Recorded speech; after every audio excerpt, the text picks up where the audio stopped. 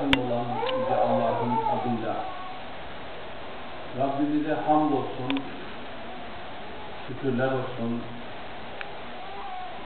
Peygamberimiz, Efendimiz, Önderimiz Hazreti Muhammed Mustafa'ya salatü selamlar olsun. Cenab-ı Hak buraya kadar gelişimizden, burada ve ölünceye kadar yapacaklarımızdan razı ve hoşnut olsun. Rabbim doğruları anlatmayı, doğru bir şekilde anlamayı, anladığımız doğrular ışığında Müslümanca bir hayat yaşamayı hep bize nasip-i müyesser buyursun. Şimdi saygıdeğer kardeşlerim, tabi öncelikle bir tebrik, bir takdir, bir de öz eleştiri kabilinden bir tenkitle sözlerime başlamak istiyorum.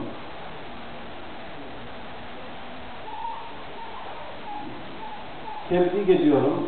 Peygamber aleyhissalatü vesselam'ı anmayı, anlamayı, sadece onun doğduğu Rebül Evvel ayı gecesine ya da onun dünyaya teşrif ettiği Nisan ayının 20. gününe, gecesine ya da kutlu doğum haftasına tasdik etmeyin. Onu biz her zaman anmalıyız, hatırlamalıyız düşüncesiyle bu güzel programı icra eden, hazırlayan kardeşlerimizi tebrik ediyorum.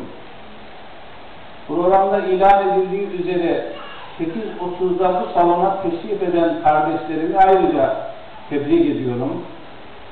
Maalesef biz dakikliği ondan öğrendik. Ondan öğrenmiş olmamız lazım.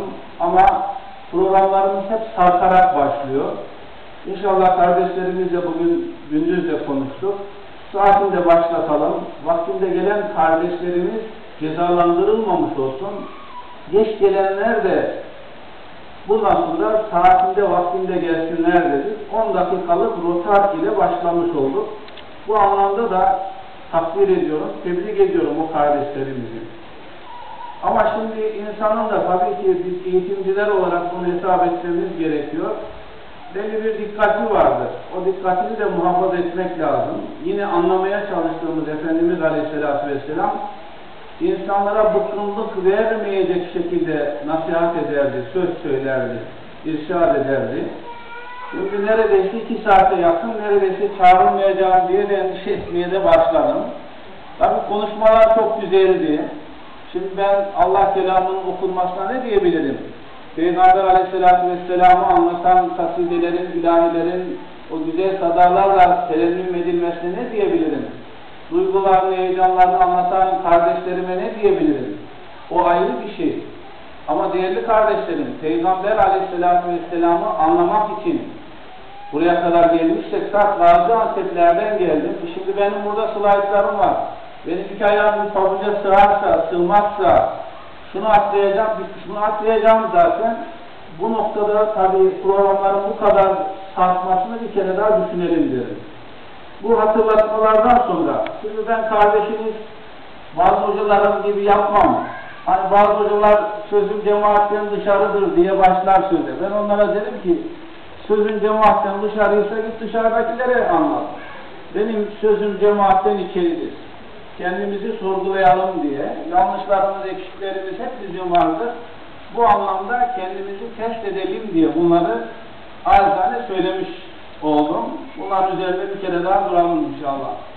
Aleyhisselatü Vesselam ama ben yine buraya kadar Gaziantep'ten, Mersin üzerinden buraya kadar gelmiş olmakla size mutlaka bazı şeyler söylemem lazım. Yoksa Allah sorar. Buraya kadar gelişimden de sorar, bana da sorar, size de sorar. İnşallah sabrınızı zorlamamış olurum. Ama şunu da rahatlıkla söyleyebilirim. Hadi gidelim bu saate kadar öğrendiklerimizle amel edelim de diyebilirim yani. Çünkü çok güzel şeyler icra edildi. Ama aleyhissalatü vesselam olunca konu tabi o bitmez. Anlamakla anlatmakla bitmez. Biz ondan bahsedeceğiz. O güzel insan ki Hazreti Mevlana öyle diyor onu anlatırken diyor ki ya Resulallah isterdim ki gökler ve yer genişliğinde ağzım olsaydı, isterdim ki kıyamete kadar sürecek olan zamanım olsaydı da seni anlatabilseydim. Değerli kardeşlerim, insanlık tarihinde çok büyük önderler, liderler, kaşifler, kurtarıcılar yetişmiştir.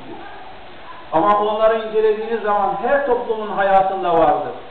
Onları incelediğiniz zaman şunu görürsünüz. O liderler, o önderler, o kurtarıcılar, o kaşifler belli toplumların önderi lideridir. Belli alanların kaşifidir. Belli zamanların, belli coğrafyaların ileri gelenidir. Ama Hz. Muhammed Mustafa sallallahu aleyhi ve sellem öyle değil.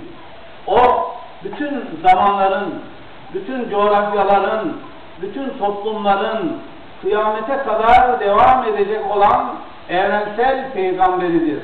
Resulü Sekaleyn'dir Hz. Muhammed Aleyhisselam. İns ve cinnin peygamberidir. Onun mesajları da eskimeyen, pörsümeyen, teri taze, yepyeni olan mesajlardır. Onun için insanlık onun geldiği günden daha fazla onun insanlığa emanet etmiş olduğu değerlere muhtaçtır bugün. Onu anlamaya muhtaçtır bugün. Tıpkı biz şairin dediği gibi Ya Resulallah sen hala 40 yaşındasın ve ümmetinin başındasın. Bu ne demektir biliyor musunuz? Sen hala sana vahiy geldiği, sana nübüvvet görevi verildiği gün gibi 40 yaşındasın ve ümmetini aydınlatmak için insanlığın başındasın. Bu Peygamber aleyhissalatü vesselamın mesajının diri ve taze olduğunun açık bir ifadesidir. Onun için biz gönül alıcılarımızı, beyin alıcılarımızı her zamandan daha çok Hz. Muhammed Mustafa vericisine çevirmek, onu anlamaya, onu hayatımızda yaşamaya, onu anlayarak hayatımızı anlamlandırmaya her geçen gün daha fazla muhtacız. O günkü insanlardan çok daha fazla muhtacız. Bugün dünya insanlığının ve onun ümmetinden olduğunu iddia eden bizlerin sergilemiş oldukları hayata baktığımız zaman bunun ne kadar zorunlu bir ihtiyaç olduğu net bir şekilde görülecektir. İnşallah biz de onun hatırına buraya kadar geldik. Gül Muhammed'in hatırına bir şeyler ifade edelim, anlayalım, anlatalım diye geldik.